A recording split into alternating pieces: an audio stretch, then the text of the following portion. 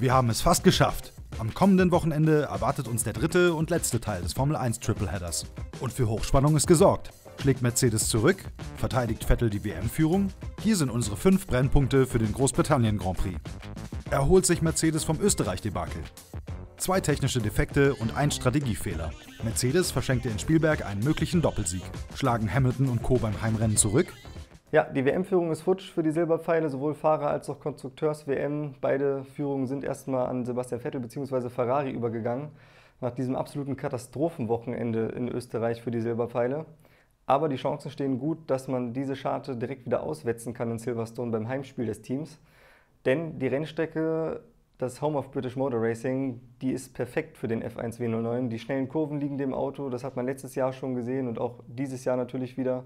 Mercedes auf Strecken, die aerodynamisch anspruchsvoll sind, wo viel Downforce in den schnellen Kurven gebraucht wird, da sind die immer besonders gut. Das heißt, das ist schon mal ein gutes Vorzeichen für Mercedes. Dann dazu natürlich die Strecke neu asphaltiert. Es kommt der dünnere Pirelli-Reifen zum Einsatz, wie schon in Barcelona und Frankreich. Auch da war Mercedes mehr oder weniger unschlagbar. Und dass Lewis Hamilton zu Hause abliefern kann, das hat er gezeigt. Zu Hause schon letztes Jahr das letzte Mal auch gewonnen. Also Lewis Hamilton auf jeden Fall der Favorit. Valtteri Bottas, der hat auch gezeigt, obwohl es im Moment nicht so gut läuft, der bleibt am Ball, der hat immer noch Biss. Also mit den Silberpfeilen muss man trotz des Debakels von Spielberg auf jeden Fall rechnen. Staubt Vettel erneut Punkte ab? Ferrari betrieb in Frankreich und Österreich zuletzt Schadensbegrenzung. Zudem bescherte der Doppelausfall von Mercedes Sebastian Vettel die WM-Führung. Kann er seinen Vorsprung in Silverstone ausbauen? Ja, ein Punkt Vorsprung auf Lewis Hamilton hat Sebastian Vettel nach neun Saisonrennen, aber richtig perfekt haben der Heppenheimer und sein Team es auch nicht gemacht in den letzten Rennen, beziehungsweise vor allem er nicht in Frankreich Bottas abgeschossen, das Rennen versaut, ähm, in Österreich die Grid Penalty kassiert, dadurch rückblickend, wenn man die Mercedes-Ausfälle äh, da mal berücksichtigt, hat er eigentlich einen relativ sicheren Sieg dadurch verschenkt. Trotzdem zurück in der WM-Führung, aber die auch in Silverstone zu retten, das wird schwierig, denn Ferrari, die sind auf der Strecke nicht besonders stark und selbst Maurizio Rivabene, der Teamchef, hat schon gesagt, wir müssen da aufpassen, das ist eine Aero-Strecke, das wird für uns ein hartes Stück Arbeit. Ja, und wenn Ferrari da die WM-Führung mit in die Sommerpause retten will, das sind ja noch drei Rennen, dann müssen sie jetzt in Silverstone auf jeden Fall mal Schadensbegrenzung betreiben, weil Favoritenrolle sehe ich da eher nicht. Welches Gesicht zeigt Red Bull in Silverstone? Die Performances von Red Bull waren zuletzt unberechenbar. Auch in Spielberg gelang im Rennen ein Sprung nach vorne. Welche Form legen sie in Großbritannien an den Tag? Drei Siege schon für Red Bull in dieser Saison, aber wenn man ganz ehrlich ist, das schnellste Auto hatten sie eigentlich nur in Monaco. Die Siege in China und auch in Österreich zuletzt, das war mehr begünstigt durch Strategieglück, durch Pech der Konkurrenz.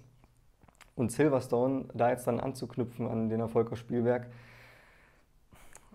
Red Bull hat sich letztes Jahr 2017 richtig viel vorgenommen in, in England, aber auf der Aero-Strecke sind sie dann mehr untergegangen als eigentlich je zuvor in dem Jahr, nämlich anderthalb Sekunden hatte Verstappen da verloren auf die Polezeit von Lewis Hamilton. Dieses Jahr der RB14 schon näher dran an Ferrari und Mercedes an der Spitze.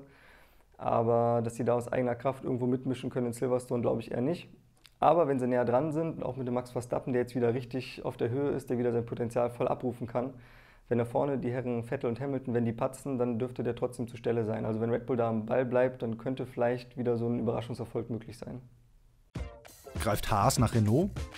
Haas war in Spielberg die klare vierte Kraft. In Silverstone wollen Grosjean und Magnussen wieder überraschen. Können sie vielleicht sogar Renault angreifen? Der Kampf um Platz 4, der hat in Österreich richtig an Intensität gewonnen. Renault, die haben das schlechteste Rennen dieses Jahr abgeliefert und auch das schlechteste eigentlich seit langer, langer Zeit. Also nicht nur, dass Hülkenberg mit dem Defekt ausgefallen ist, sondern auch, dass Carlos Sainz einfach chancenlos war. Der ist hinter sauber ins Ziel gekommen aus eigener Kraft gar keine Chance auf Punkte gehabt, Renault, und hat richtig Federn gelassen, auch in der Konstrukteurs-WM. Denn Haas hat richtig aufgedreht. Grosjean mal keinen Mist gebaut, perfektes Wochenende abgeliefert, Vierter geworden, das beste Resultat in der Teamgeschichte von Haas eingefahren. Magnussen auch super aufgelegt, Platz 5 geholt. 13 Punkte fehlen jetzt noch auf Renault. Haas jetzt neuer Fünfter in der Konstrukteurs-WM. Und die Chancen stehen gut, dass die US-Amerikaner diesen Abstand noch verkürzen können jetzt in Silverstone. Denn anders als das Partnerteam Ferrari gefällt Haas eine schnelle Strecke wie Silverstone richtig. Der VF18, der steht auf schnelle Kurven, so wie in Barcelona und auch zuletzt in Österreich. Da läuft das Auto zur Höchstform auf und wenn Grosjean und Magnussen da abliefern, dann haben die gute Chancen, noch richtig Boden auf Renault gut zu machen. Neuer Asphalt. Fallen die Rekorde? Silverstone erhielt im Winter einen neuen Asphaltbelag. Deshalb kommen auch zum dritten und letzten Mal die Pirellis mit der dünneren Lauffläche zum Einsatz. Wird der Rundenrekord damit geknackt?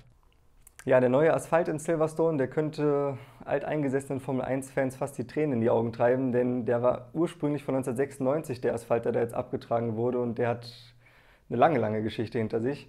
Aber neuer Asphalt, da können die Fahrer jetzt eine neue Geschichte drauf schreiben. Und das Erste, was er wahrscheinlich dann glauben wird, wird der Rundenrekord sein. 2017 hat Hamilton mit 1 Minute 26, 6.00 schon ja, eine richtig gute Zeit in den Asphalt gebrannt im Qualifying.